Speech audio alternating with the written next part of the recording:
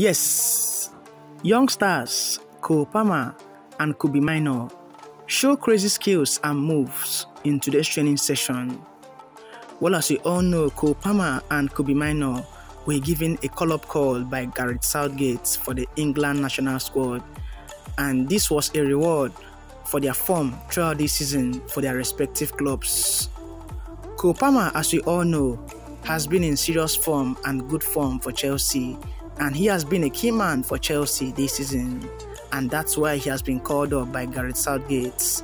And Kobbie Mainoo also was a surprise call up as Gareth Southgate expressed his feeling and determination in the young star.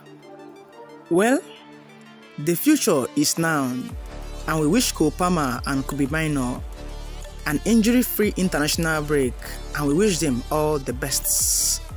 Fellow Chelsea and United fans, do well to like this video, share this video, and hit the subscribe button below for more trending updates.